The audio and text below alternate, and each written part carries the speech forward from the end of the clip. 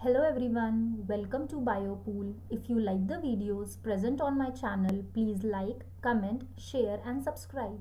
हमारा next topic है chemical enzymes and other bioactive molecules plus microbes in sewage treatment plant ये हमारी part two video है इस चैप्टर की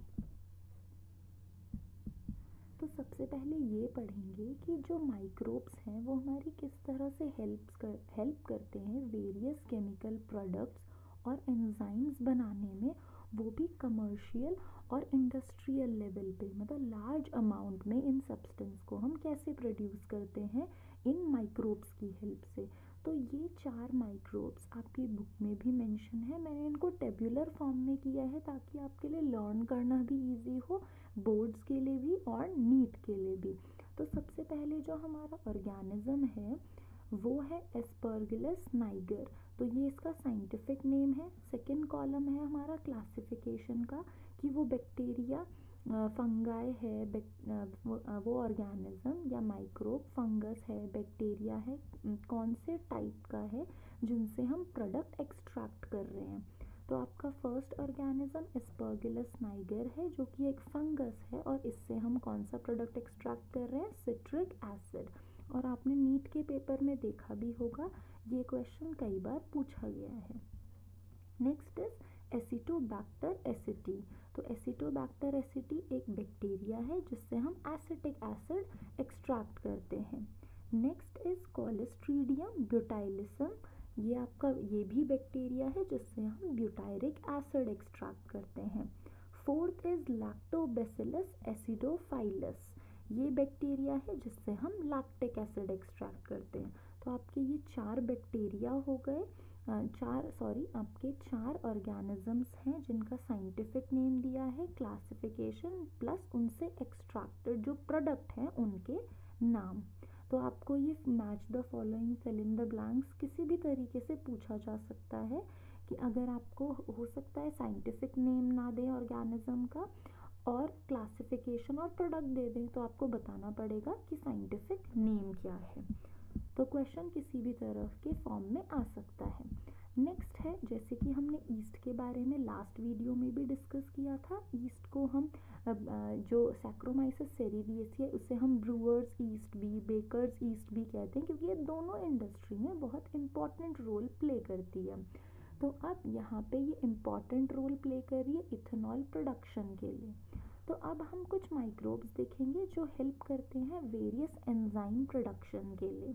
तो फ़र्स्ट इज़ आपका है, जैसे कि लाइपेजेस हैं। लाइपेजेस आर एंजाइम है और वो कहाँ यूज़ हो रहे हैं? आपके डिटर्जेंट इंडस्ट्री में which is helpful in removing oil stains from the laundry इसके अलावा आपके दो और एंजाइम हैं जैसे पेक्टिनेजेस और प्रोटीएजेस तो ये दोनों एंजाइम कहाँ यूज़ हो रहे हैं आपकी जो फ्रूट जूस इंडस्ट्रीज़ हैं वहाँ पे जो आपके बॉटल जूस होते हैं आप देखते होंगे आप लोगों ने सबने बॉटल जूस पिया भी होगा, जैसे ट्रॉपिकाना रियल और ये सब तो ये जूस कितने क्लियर होते हैं? इसमें कोई पल्पी पार्ट नहीं होता बट जो जूस आप घर पे निकालते हो, उसमें पूरे फाइबर्स पल्प और ये सब कुछ होता है।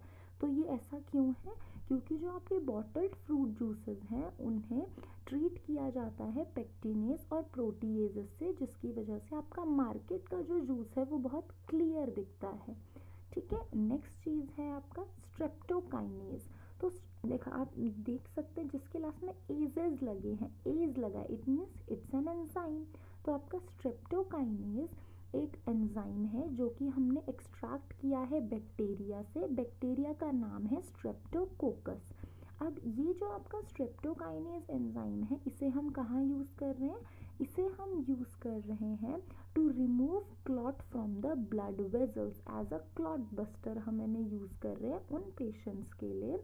Who have undergone myocardial infection तो जिन्हें हार्ट अटैक आया है या ऐसी सिचुएशंस आई हैं कि उन्हें हार्ट अटैक आ सकता है, ये पेन है चेस्ट पेन है तो उस टाइम पे स्ट्रेप्टोकाइनेस को हम यूज़ करते हैं टू रिमूव द क्लॉट्स क्योंकि क्लॉटिंग होगी तो ब्लड प्रॉपरली फ्लो नहीं कर पाएगा, जिस, जो एक रीज़न है हार्ट अटैक का।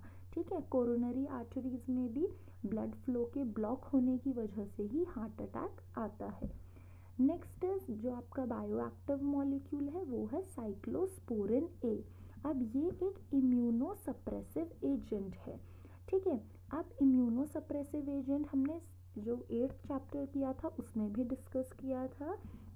इम्यूनोसप्रेसिव एजेंट्स वो मॉलिक्यूल्स होते हैं जो आपकी इम्यून सिस्टम को शांत कर देंगे शट डाउन कर देंगे कुछ टाइम के लिए।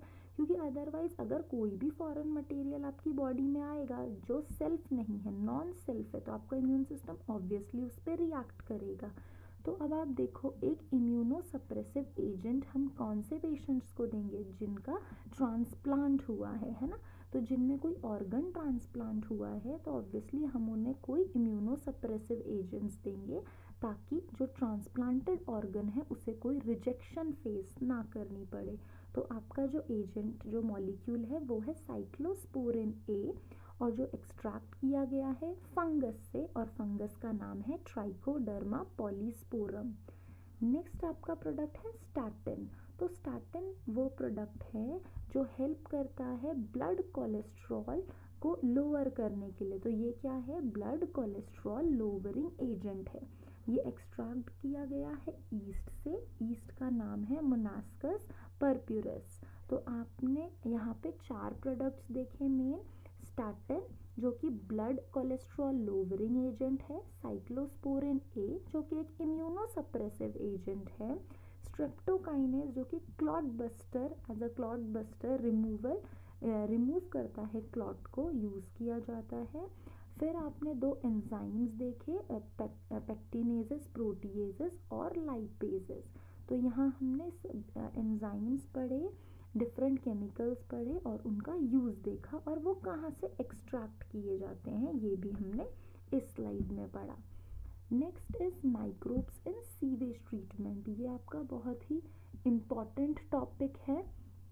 सीवेज सबसे पहले समझते हैं सीवेज क्या होता है। तो सीवेज वो वेस्ट कंपोनेंट है जो जनरेट हो हो रहा है सिटीज़ में टाउन्स में या कोई भी एरिया जो कि जहाँ पे ह्यूमन इंटरवेंशन है ह्यूमन पॉपुलेशन है तो ऑब्वियसली वहाँ पे वेस्ट जनरेट हो रहा है। तो वो वेस्ट जो सिटी टाउन और कोई भी प्लेस जहाँ पे ह्यूमन सिविलाइजेशन है, वहाँ से जो वेस्ट जनरेट होता है, चाहे वो ह्यूमन एक्सक्रीटा हो और एक्स्ट्रा जो भी वेस्ट है वाटर आपका उसमें वाटर हो, जो कि मतलब पॉल्यूटेड वाटर हो या यूज्ड वाटर हो, इसके अलावा आपकी चीज़ें हो गई, जैसे कि जो भी पॉली बैग्स पेबल्स कुछ भी चीज़ें जो वेस्ट हैं, जो यूज़फुल नहीं है it is counted as sewage तो sewage contain large amount of organic matter तो सीवेज में काफ़ी सारी चीज़ें हो सकती है ऑर्गेनिक इनऑर्गेनिक बहुत सारे माइक्रोब्स हो सकते हैं, जो कि पैथोजेनिक हो सकते हैं। Pathogenic means those microbes that that can cause disease to human ठीक है? तो sewage is treated in sewage treatment plants तो सीवेज को हम ट्रीट करते हैं सीवेज ट्रीटमेंट प्लांट्स में, ताकि हम वो जो सीवेज वाटर है, उसे लेस पॉल्यूटिंग बना सकें। ठीक है? तो सीवेज ट्रीटमेंट में हम सीवेज ट्रीटमेंट किसके थ्रू किया जा रहा है? डन बाय हेट्रोट्रॉपिक माइक्रोब्स जो नेचुरली प्रेजेंट है सीवेज वाटर में। तो हम यहाँ माइक्रोब्स की हेल्प से ही इस वाटर को क्लियर कर रहे हैं और यूजेबल बना रहे हैं। तो आपका जो सीवेज ट्रीटमेंट है, ये दो स्टेप्स में है मेजर पहला है आपका प्राइमरी ट्रीटमेंट और दूसरा है सेकेंडरी ट्रीटमेंट या फिर बायोलॉजिकल ट्रीटमेंट तो सबसे पहले प्राइमरी ट्रीटमेंट में क्या है? फ़िज़िकल रिमूवल है लार्ज पार्टिकल्स का पार्टिकल्स का.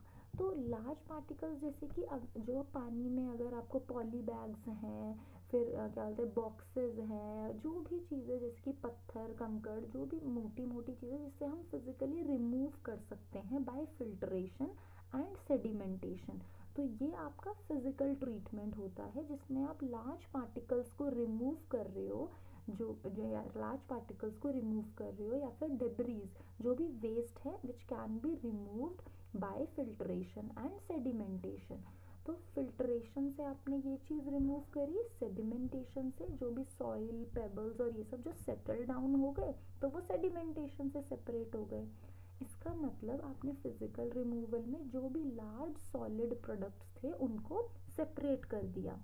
तो अब जितना आपका सॉलिड प्रोडक्ट सेपरेट हुआ, उसके बाद जो वाटर आपके पास बचा है दैट इज़ द सुपरनेटेंट जो अब ऊपर जो पानी है आपके पास, वो क्या है? इट फॉर्म्स एन एफ्लुएंट तो आपका जो पानी है, जिसे आपको फर्दर और प्रोसेस करना है दैट इज़ एफ्लुएंट और अब ये जो एफ्लुएंट है, हम इसे ट्रांसफ़र करेंगे प्राइमरी सेटलिंग टैंक से टू जो नेक्स्ट टैंक है आपका एरिएशन टैंक वहाँ पे फॉर सेकेंडरी ट्रीटमेंट तो प्राइमरी ट्रीटमेंट में हमने क्या किया? सभी जो लार्ज पार्टिकल्स थे पेबल सॉइल जो भी चीज़ें थी, उन्हें रिमूव किया with the help of filtration and sedimentation और आपका जो वाटर हमने नेक्स्ट ट्रीटमेंट के लिए भेजा, उसे हम कहते हैं एफ्लुएंट और एफ्लुएंट को हमने प्राइमरी सेटलिंग टैंक से अब डाला है एरिएशन टैंक में। तो आपका सेकेंडरी ट्रीटमेंट जिसे हम बायोलॉजिकल ट्रीटमेंट भी कहते हैं, अब हमने लार्ज यहाँ सॉरी यहाँ वेरिएशन आ गया एरिएशन टैंक है। तो एरिएशन टैंक में इसे ट्रांसफ़र किया है। अब एरिएशन टैंक ऑब्वियसली जहाँ पे एयर पंप की जा रही है तो वहाँ कॉन्स्टेंटली एजिटेट किया जाएगा। ऐसे मिक्सचर या ब्लेंडर जैसे उसे मूव किया जाएगा और एयर पंप की जाएगी। जब एयर पंप करेंगे तो उसकी वजह से क्या होगा? आपके एरोबिक माइक्रोब्स ग्रो करेंगे इनटू फ्लॉक्स अब फ्लॉक्स क्या है? Flocs means masses of bacteria क्योंकि एयर पंप करने की वजह से आपके एरोबिक बैक्टीरिया की ग्रो होगी ग्रोथ होगी तो वो फास्टर रेट पे ग्रो करेंगे और बड़ा एक मेशवर्क नेटवर्क लाइक स्ट्रक्चर बना लेंगे एसोसिएटेड विद फंगल फिलामेंट्स तो आपके ये जो माइक्रोब्स हैं, जो लार्ज एरिएशन टैंक में ग्रो कर रहे हैं विद द एफ्लुएंट जो कि प्राइमरी आपकी ट्रीटमेंट के बाद यहाँ आया है, अब ये क्या ये माइक्रोब्स क्या करेंगे तो ये माइक्रोब्स जो हैं, आपके एरोबिक माइक्रोब्स याद रखेंगे सेकेंडरी ट्रीटमेंट में जो आपके एरोबिक माइक्रोब्स हैं, अब ये सिग्निफिकेंटली रिड्यूस कर देंगे बीओडी को। BOD is biological oxygen demand तो बीओडी क्या होता है? Amount of oxygen that would be consume उतना अमाउंट ऑफ़ ऑक्सीजन जो कंज्यूम किया गया है if all the organic matter in one litre of water जितना भी ऑर्गेनिक मैटर जो वन लीटर वाटर में प्रेजेंट है वह ऑक्सीडाइज बाय बैक्टीरिया और वो ऑक्सीडाइज किया गया है बैक्टीरिया बैक्टीरिया के थ्रू मतलब आपके पानी में जितना भी ऑर्गेनिक मैटर है, कितने पानी में? एक लीटर पानी में जितना भी ऑर्गेनिक मैटर है, वो ऑक्सीडाइज किया गया है बाय बैक्टीरिया ठीक है?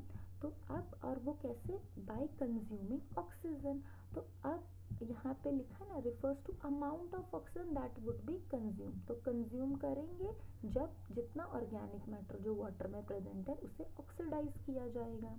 तो आप देखो नेक्स्ट चीज़ है, जो आपका सीवेज वाटर है, उसे तब तक ट्रीट किया जाता है जब तक उसका बीओडी रिड्यूस नहीं हो जाता। क्योंकि जब तक, अब आप पहले देखो, ये आपका सीवेज ट्रीटमेंट प्लांट है ठीक इस तरह के आपने देखे भी होंगे, आपके सिटीज़ में होते हैं बड़े सीवेज ट्रीटमेंट प्लांट्स अब नेक्स्ट चीज़ जो फोकस करने वाली है, वो है कि हमें बीओडी क्यों रिड्यूस करना है? क्योंकि अगर जितना ज़्यादा बीओडी होगा पानी का, उतना ही पॉल्यूटिंग पोटेंशियल होगा। मतलब जितना ज़्यादा बीओडी उतना गंदा पानी होगा, ठीक है? उतना पॉल्यूटेड वाटर होगा। तो हम क्या कर रहे हैं? बीओडी को डिक्रीज कर रहे हैं। क्योंकि हम भी हमने समझा बीओडी क्या है? अमाउंट ऑफ़ ऑक्सीजन कंज्यूम्ड ठीक है? अब जितनी ज़्यादा ऑक्सीजन की डिमांड बढ़ती जाएगी, ठीक है? मतलब क्योंकि ऑक्सीजन कम हो रहा है, क्योंकि ऐसी चीज़ें पानी में ग्रो कर रही हैं या हैं जिन्हें नहीं होना चाहिए तो ऑब्वियसली वो सब चीज़ें पानी के में जो डिजॉल्व ऑक्सीजन है, उसे कंज्यूम करेंगी, जिसकी वजह से पानी का बीओडी बढ़ जाएगा। मतलब पॉल्यूशन लेवल बढ़ जाएगा क्योंकि वहाँ अनवांटेड चीज़ें हैं जो नहीं होनी चाहिए, है ना? क्योंकि अब वो ऑर्गेनिज्म हैं जो पानी में नहीं रहने चाहिए थे बट वो हैं और वो ऑक्सीजन को यूज़ कर रहे हैं तो किन के लिए ऑक्सीजन की कमी हो जाएगी? जो नेचुरल आपकी फिशेस एक्वेटिक प्लांट्स हैं, उनके लिए कमी होगी पानी पानी में ऑक्सीजन की, जिसकी वजह से उनकी डेथ होगी। तो इसका मतलब आपका वाटर कैसा हो रहा है? पॉल्यूटिंग हो रहा है और उसमें डिजॉल्व ऑक्सीजन का लेवल भी कम है। तो हमारा मेन रीज़न है बीओडी को रिड्यूस करने का, ताकि हम उसका पॉल्यूटिंग पोटेंशियल कम कर पाए। तो अब जब आपका बीओडी सिग्निफिकेंटली रिड्यूस हो जाएगा तो वो जो एफ्लुएंट है it is then passed into settling tank तो आप देखो प्राइमरी टैंक से हमने उसे डाला एरिएशन टैंक में, फिर डाला सेटलिंग टैंक में। सेटलिंग टैंक में अब जो भी बैक्टीरियल फ्लॉक्स हैं जो अभी प्रोड्यूस हुए थे एरिएशन टैंक में, उन्हें अलाउ किया सेडिमेंट होने के लिए सेटल होने के लिए। तो this sediment is called activated sludge तो इसे हम क्या कहते हैं? एक्टिवेटेड स्लज अब इसमें से कुछ एक्टिवेटेड स्लज वापस पंप किया जाएगा एरिएशन टैंक में। ये वेरिएशन नहीं है एरिएशन टैंक में to serve as an inoculum as a starter क्योंकि पीछे हमें वापस से, पीछे से और एफ्लुएंट आ रहा है ना उसे भी तो हमें एरिएशन टैंक में एजिटेट करना है तो थोड़ा सा एक्टिवेटेड स्लज यहाँ से पास ऑन किया जाएगा इनटू अ लार्ज टैंक ठीक है?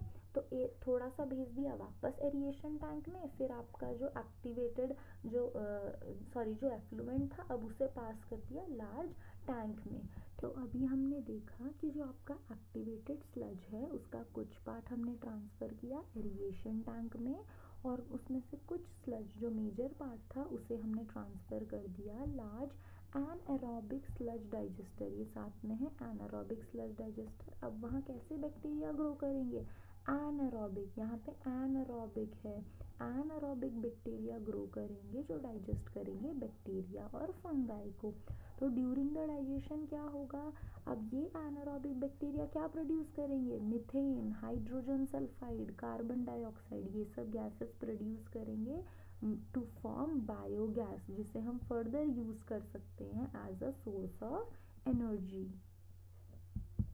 तो ये आपका जो पूरा यहाँ पे मैंने डिफरेंट कलर कोडेड आपको ये बनाया है ताकि इजीली आप एज अ समरी इसे पूरा पढ़ पाएँ। कि प्राइमरी सेटलिंग टैंक में क्या हुआ फिर एरिएशन टैंक में क्या हुआ सेकेंड जो से, आपका सेटलिंग टैंक है सेटलिंग टैंक के अंदर हमारे पास क्या था? एक्टिवेटेड स्लज फिर उसके बाद हमने डाला एनारोबिक स्लज डाइजेस्टर तो इस तरह से ranking one two three four कौन सा टैंक फ़र्स्ट था? फिर सेकेंड थर्ड और फोर्थ और हर एक टैंक में क्या मेजर एक्टिविटीज़ हुई? वो भी मैंने यहाँ कलर कोडेड कर रखी हैं। तो आप इसको, जो हमने अभी पढ़ा, इसको और इजी वे में आप लर्न कर सकते हैं और अपने एग्ज़ाम में भी इस तरह से लिख सकते हैं। तो ये आपका पूरा प्राइमरी ट्रीटमेंट है और यहाँ से आपका सेकेंडरी ट्रीटमेंट है, जिसे हम बायोलॉजिकल ट्रीटमेंट भी कह रहे हैं, क्योंकि हमने यहाँ एरोबिक और एनारोबिक बैक्टीरिया का यूज़ किया है। तो नेक्स्ट चीज़ है क्यों इंपॉर्टेंट है वाटर को ट्रीट करना? तो सबसे बा, पहली बात है कि आप एफ्लुएंट को इसलिए ट्रीट करना चाह चाहते हैं क्योंकि अब वो पानी पॉल्यूटिंग है। अगर आप उसको नेचुरल रिवर रिवर स्ट्रीम्स या वाटर बॉडीज़ में डाल दोगे तो आपके पानी का पीएच टेम्परेचर सब में चेंजेस आ जाएँगे जिसकी वजह से वहाँ रहने वाले आपके नेचुरल एक्वेटिक एनिमल्स और प्लांट्स अफेक्ट होंगे और उनकी डेथ भी हो सकती है। ठीक है? तो अनट्रीटेड सीवेज वाटर को डिस्चार्ज करने के डिस्चार्ज ना करें, इसीलिए जो Ministry of Environment and Forest है, इन्होंने काफ़ी रूल्स एंड रेगुलेशन अप्लाई किए कि कोई भी रिवर बॉडी के पास इंडस्ट्री सेटअप नहीं होंगी होंगी तो वो untreated water sewage water untreated नहीं डाल सकती। आपकी नदियों में अदरवाइज़ उन्हें बहुत ही लार्ज फाइन लगेगा। और आपका गंगा एक्शन प्लांट और यमुना एक्शन प्लांट था, उसका मेजर गोल ही ये था, उसका मेजर एम था कि हमारे कंट्रीज़ में जो भी मेजर रिवर्स हैं, उन्हें सेव करना। इस वीडियो के नोट्स आपको मिलेंगे बायोपूल के टेलीग्राम चैनल पे और इसका लिंक आपके लिए नीचे डिस्क्रिप्शन बॉक्स में है। Thank you for watching the video